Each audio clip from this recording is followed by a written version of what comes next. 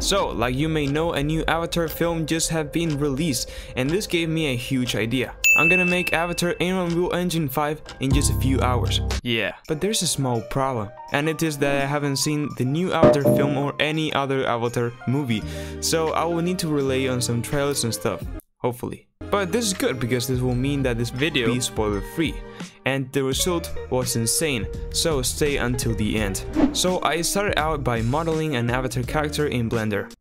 what I mean by that was just, you know, um, yeah, I found out this pretty cool character in Sketchfab, so I just basically downloaded it. But for some reason the skeleton didn't work with Mixamo, so I just tried for hours and hours and uh, yeah, it just didn't work. So I just downloaded the next one to that one in Sketchfab. And this one actually worked. So I grabbed some locomotion animations from Mixamo, and then when I had all the animations that I needed, I just dragged him into Unreal Engine and...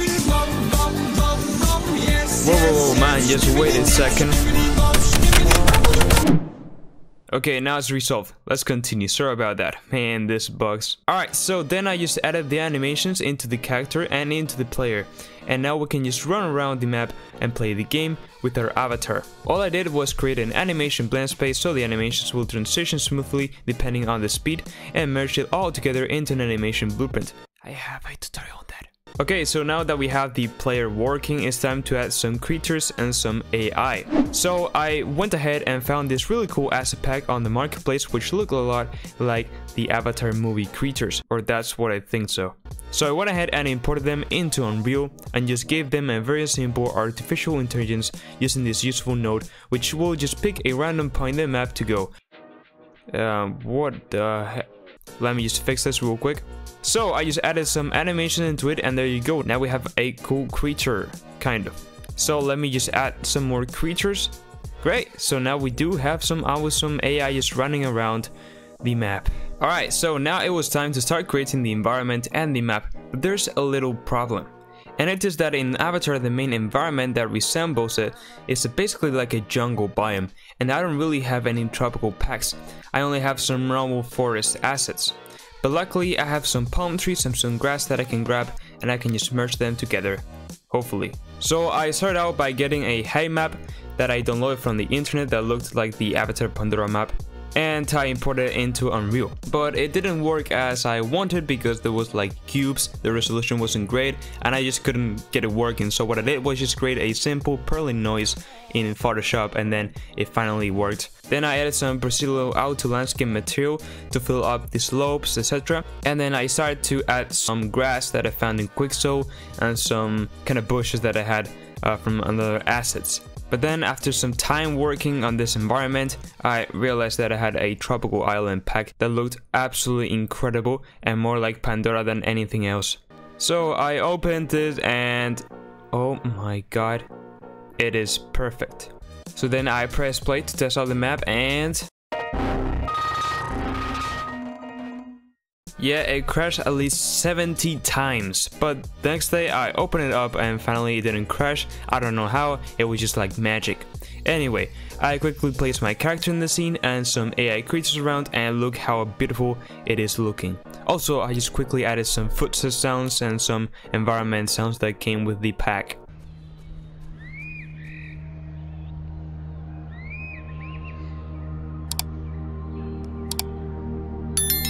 Okay, so now it was feeling and looking absolutely amazing, so now it was time to make a bit of the gameplay. Now uh, I was gonna make it very simple, just add an NPC that will give you a mission and then you have to do something. So I started out by creating the NPC that you can basically interact to get a mission from it. And actually I created a dialogue system which I actually have a tutorial on that so if you want to check it out go ahead. So I prepared everything and I had a great idea and it was to make the dialogue entirely with ChatGPT an AI that can basically ask anything and it will give you an, an incredible answer, which I actually have a cool video on making a game with ChatGPT, so if you want to check it out, go ahead. So I quickly added some UI so it can look a bit better. And then you can see a bit the system working when I go uh, into him and start pressing E, the dialog will actually cycle. Now still I didn't have the ChatGPT one, and then I implemented all the ChatGPT phrases on.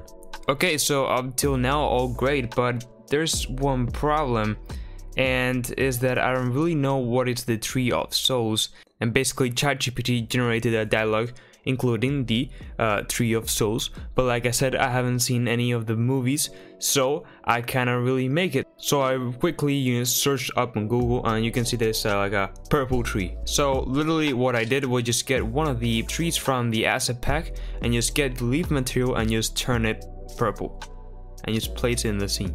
Yeah, so basically the objective of the mission was to get to the uh, to that tree, to the tree of souls. Um, so basically what I did was just create a trigger so when the player enters in that zone, it will do something. Okay, so then what I did and decided to do is that when you get into that tree, the NPC will just appear floating and looking at you and then it will say whatever ChatGPT generated for when you complete the mission. Okay, so there you go, you can see the NPC there. The thing is that he fell because I forgot to disable his gravity, but you can see that the dialogue is actually uh, appearing and stuff, so things are working. So then what I decided to do is just add a camera that will just be in the sky aiming into the player and the NPC. And then I went ahead and added the uh, floating animation to the NPC, which looks pretty funny. And then I decided to add more cameras and basically transition through them as we go. And then one of the final things that I did was just clear a bit the path into the tree so the player can basically orient itself a bit better. And I also started to paint a bit of the path with some sand.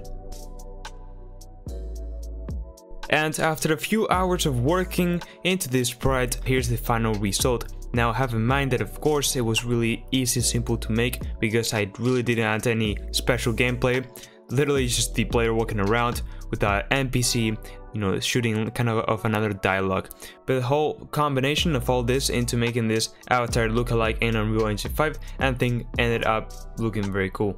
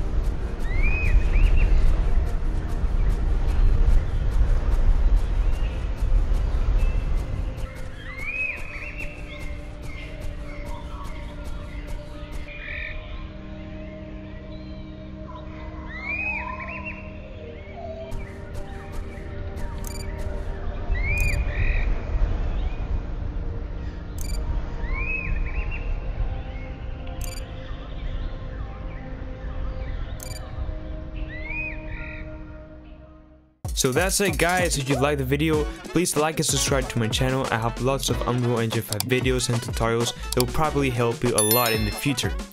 And yes, with all that said, bye bye.